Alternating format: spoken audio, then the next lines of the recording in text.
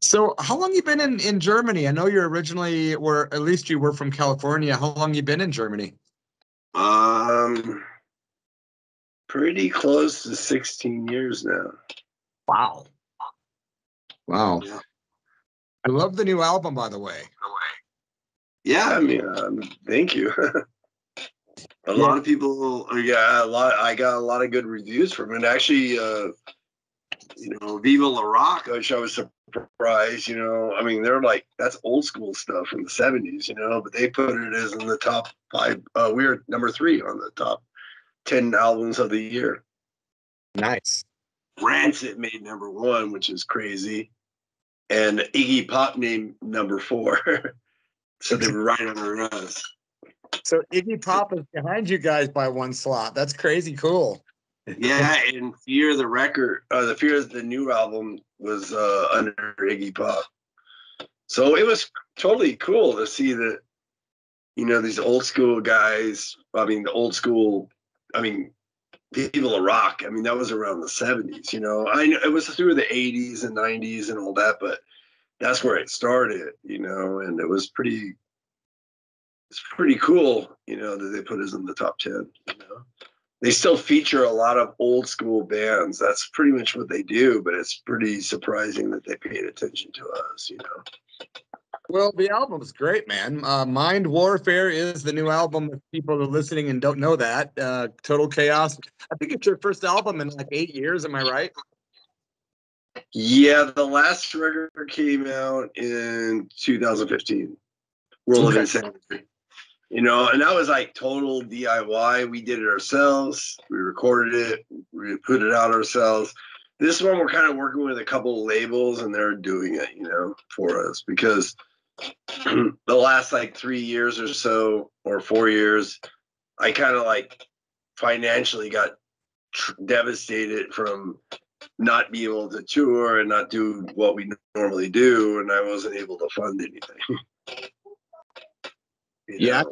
great, man. Do you have a day job, man, or do you primarily just do music related and, and social kind I of do, stuff? I do 90 percent of what I do is music related. I usually I do my band and then I do a booking agency. I book like, but I don't book a lot of tours, but I book some.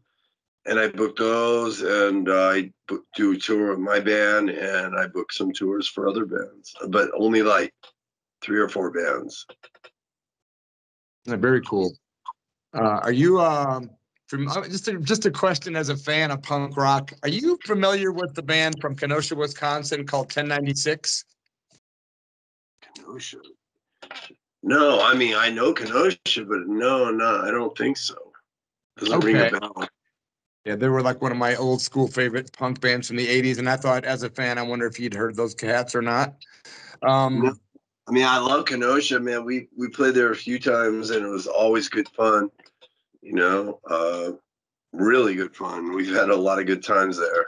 Although we haven't been there in a long time, but uh, we the last few times we were there was awesome. Yeah, Kenosha is one of my second homes. Back in the '80s and '90s, I have a lot of friends there, connections. Oh, uh, you know, uh, you know, beautiful Bert. Oh, I was really good friends with Beautiful Bert. Yeah. yeah, he's funny guy. I love that guy. I just saying because I know he's Kenosha. He's old school Kenosha guy. You know. oh, yeah, I know he passed away recently, or like four or five years ago. I think it was. Yeah.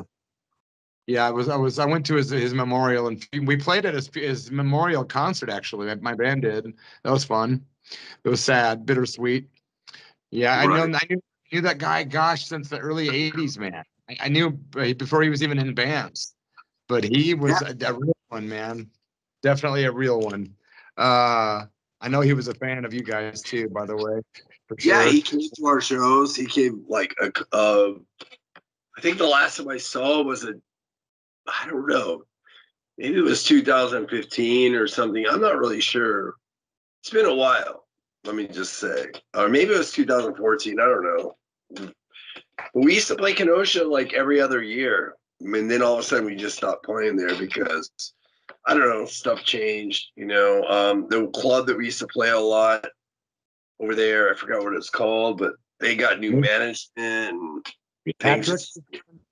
huh? Might have been hat tricks. Maybe. Yeah, it sounds familiar. Yeah, and you know, did, did you get to witness Beautiful Bert or share a stage with him? Oh, he was hanging out with us. We were like hanging out in the parking lot, you know. Uh, uh, I don't remember if we played. He played with us, but he was always hanging out with us. I, I if he did play, I don't. I didn't see it, or maybe I don't remember. you know, uh, Um, everybody, everybody in uh, Wisconsin, uh, Kenosha, were like hooking us up with beers and stuff. So we we're getting really, really, really drunk. You know what I mean? so things become a blur really quick. You know, I think was, we we played with this band called Piss Officer. I think it was called. Yeah, their Um, singer Frank died. Their singer Frank passed away a few years ago too. No way! You're Oh. Crazy. Yeah, they were, they were always hooking us up, man. Like I would write him. This is back in MySpace days, and he would like, "Yeah, dude, I got you, got you this, whatever." Like, okay, cool, we're coming through, and we play, and it was a great show every time. Uh, who are some of your very favorite punk bands of all time? Um, when I got into punk around, I got into punk in the really maybe mid-ish 80s, like around 83, 84. I started really listening to punk rock. Um, the bands that I, I, the story is like the basically there was this guy. Well, it, there's more than this story, but I'm just gonna go really cut to the short. This guy uh, from Boston moved into the neighborhood, and he gave me like a mixtape he said, "Listen, to this shit, this is a real stuff." Because I told him, he asked me if I like punk, and I said, "Yeah, I like Billy Idol." he goes, "That's not punk." He goes, "Listen to this shit," and he gives me a mixtape. And the first band was Black Flag, wow, you know, with White Minority, and then it had like, it had it had like all kinds of stuff, uh, the Clash, the it had like White Riot i want to riot you know and it just had all this different stuff on it and i was blown away. So i started buying all these records you know what i mean? Like i bought black flag i bought the Dead Kennedys i bought the clash um, and that was pretty much when i got into punk rock uh, i immediately i mean i already had ties to it before that because i used to skateboard and we used to go to the skate park uh, there's a place called Pipeline in Pomona, California. And we used to go skateboarding down there, and all most of the people that were there were punk rock, punk rock kids or related to punk rock. You know what I mean? One way or another. So it, you know, 80s, you know, and uh, yeah, that's when I got in the punk scene, and then I started really going to shows. And actually, Doug the guy from Boston who gave me the mixtape later took me to like a bunch of shows. Like he took me to see DI. We went and saw Social Distortion back in the early 80s when they were still a total punk band and not a rockabilly band or wherever they are now.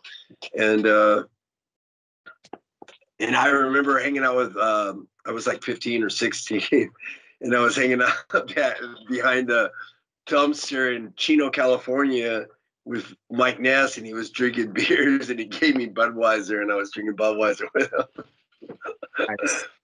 Wow. Yeah, you know, this is like 85, 84, 85, you know. It's before he went to he he got arrested for something. I think it was drug possession or something or maybe multiple drug possession and then he ended up going to prison, Mike Ness. And when he got out of prison, he was a, not the same man at all. He was he completely cleaned up. He stopped doing everything, and his attitude was not the same. Wow. Yeah, because I saw I saw him in '88 when they were doing their Prison Bound tour, and they had that album Prison Bound, and I guess he wrote that song about when he went to jail. He was only in jail for like six months or something, but whatever. I guess that's prison for him. So that changed him for the better, you think, or the worse? Well, maybe it's for the better for like for his health and stuff, and maybe for the people he's he cares about around him. But but as far as for the punk community, it's it made him worse. It, Yeah. He uh, he didn't he didn't care about the punk scene anymore. Not Yeah. at all. Um, he didn't care about the kids. He didn't care about any of that stuff anymore. At least as far as I know. I mean, Dennis, the guitar, the last original member of the band, well, not original, but last long-standing member when he passed away, he was still down to earth, man. But um, yeah, Mike, nah, not at all. you know, but whatever, you know. Well, you know, um, since you guys started the band in 89 or people started hearing about Total Chaos in 1989 and you came out of Pomona, California, you've had a, quite a few uh, different people come in and out of the band. Can you let us know who's currently in the band Total Chaos? Sean Smash, which has been in the band. Well, I asked Sean to join the band in '94. It was like the end of '94. Um, I asked Sean if he wanted to join the band. And he said yes. Well, hell yeah. But we decided we we rehearsed with him. I think it was in December of '94, and and we were and he stayed at my house for like three months, like December, January, February, March. I think he stayed till March and we recorded Patriotic Shock without Sean with the other guy. Um, but Sean was Sean was there. the guy who replaced the guy who was playing on the record. Sean, technically we should have uh, just replaced Ron right off the bat with Sean, but we didn't. Because we were scared that it would we already had all the songs written and we didn't want to interrupt it and we didn't we weren't we were young. Um, Yeah. But other than that, um, Miguel Conflict has been in the band for since 2010, and um, yeah, Gearbox decided he didn't want to do it anymore because he had a kid, another kid. I mean, he came back, he left, he left in 90. He left in 95, the end of 95. And then he came back in uh, 2002, and then he left again in 2009. And then we got Gearbox. to Come, not Gearbox. We got uh, we got Miguel Conflict, and uh, and then after that, we've had uh, Joe Bastard left in 2010. Uh, no, Joe left in 2000, the bass player. And after that, we had millions of bass players. We we were running through them as fast as possible because all of them were assholes. You know, like every every one of them, wa- they just didn't connect with the band whatsoever. You know, um, and then we finally got this guy Jordy. He's been in the band now for seven years, almost eight actually, and uh, he's doing good. He's doing good. He's young. He's the youngest guy in the band by far. Uh, but he's been with us for almost eight years, and he's doing good. He's he's because all of us are old guys, you know, like me, Sean, and me and uh, I'm 52, and Sean's 50, and uh, Miguel I think is like 48 or 47 or something, and uh, and Miguel is like uh, I mean not Miguel, I'm sorry, and then uh, Jordy's like not even 30 years old. I think he's 29. I think. There, quite a gap. yeah, he's a big kid. He's a he's a kid, but he acts like a kid too. But at the same time, he acts like an old man too. It's kind of weird. It's kind of a weird thing. His father was a huge punk rock guy, and he grew up around punk. His mom and dad were both punk rockers, so he grew up with the whole punk scene around him his entire life. Love your new uh, Rise Up video, by the way. We're gonna play Rise Up on the show after this interview. Did you film that in Germany? Um, yeah, actually, I was filmed in Germany. Uh, I was thinking it wasn't filmed all in Germany. I think part of it, the dungeon scene where the girl is in the in the uh, Danes or girl was in chains. That was filmed in Netherlands, which is which is just like two hours away from where I live. Uh, Oh, wow. But actually, three hours. Well, two and a half hours from where I live. That was filmed in Netherlands because our bass player is Dutch. Uh, by the way, it was filmed in, ba- I think it's the basement of his uh of his flat where he lives. He lives like in a old uh, like I don't know, like old schoolhouse and I guess in the basement there was like this place. I didn't see it because I wasn't there.